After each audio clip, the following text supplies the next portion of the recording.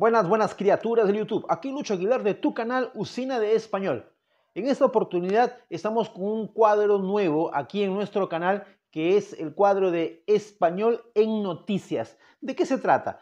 Semanalmente yo voy a traer aquí al canal noticias donde tú vas a poder analizar las palabras, el vocabulario, los verbos que son utilizados y el lenguaje real que se utiliza. El lenguaje que nosotros vemos en los libros de idiomas es un lenguaje un poco artificial, no es tan real. Pero yo estoy eh, con la idea de traer semanalmente eh, noticias reales, títulos de noticias reales de periódicos y de revistas internacionales para que nosotros podamos trabajar encima de ese material real. ¿Está bien? Entonces, eh, vamos, sin más demora, a la explicación. Acompáñame. Bueno, y tenemos aquí una noticia extraída de la BBC Mundo. ¿Sí? BBC Mundo, eh, donde el título de la noticia dice cómo hacer fácilmente tu propia mascarilla y no hace falta saber coser.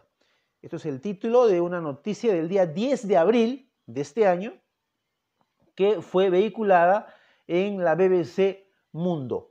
Eh, la BBC Mundo es un periódico internacional, una red de noticias internacional que es en español y yo se la recomiendo siempre a mis alumnos porque eh, alimentarse, leer noticias en español, la mejor manera es a través de eh, sitios más o menos confiables como este de aquí, bbcmundo.com.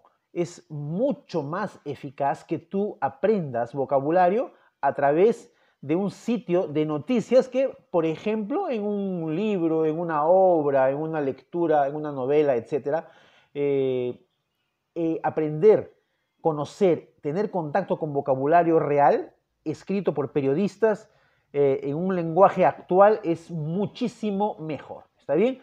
Pero vamos a la explicación de esta noticia. Dice, ¿cómo hacer fácilmente tu propia mascarilla y no hace falta saber coser? esa noticia está eh, explicando, el título de la noticia dice que es muy fácil crear nuestra mascarilla, la mascarilla de protección para evitar el contagio del coronavirus. ¿Está bien? Esa mascarilla. Y no hace falta saber coser. No hace falta saber coser. ¿sí? No necesitamos eh, tener habilidades para, como decimos en portugués, costurar. ¿eh? Es saber coser. Perfecto. Esa es la noticia eh, original. Vamos ahora a trabajar encima de esa noticia y para eso yo voy a marcar algunas palabras que son las palabras que yo quiero trabajar contigo en este video. ¿Sí? Si tú eres nuevo por acá, yo soy Lucho Aguilar, tu profesor de español y te invito a que te suscribas al canal. Este es el canal Usina de Español. Tenemos semanalmente cinco videos, de lunes a viernes, videos para que tu español crezca de la manera más rápida posible. Tenemos cinco videos semanalmente de calidad para ayudarte. Así que suscríbete, activa la campanita de notificaciones para que el YouTube te avise cada vez que eh, coloquemos un nuevo video. Pero ya lo sabes, los videos son diarios. ¿Está bien? Bueno, sin más demora, vamos a continuar. Observa ahora que en la noticia aparecen marcadas algunas palabras y algunas frases. Eh, la primera cosa que yo he marcado aquí es en el subtítulo donde dice News Mundo, abajo dice Noticias, América Latina, Hablas Español, Internacional, Economía y Tecnología. Y yo he marcado en esta línea tres palabras. Eh, la primera es una pregunta, es una frase, que es Hablas Español. ¿Y por qué yo he marcado esta frase? Porque quiero que tú tengas siempre en mente que en español para hacer una pregunta yo necesito utilizar el signo de interrogación al inicio y al final de la frase. ¿Está bien? Hablas español, observa la interrogación al inicio y al final.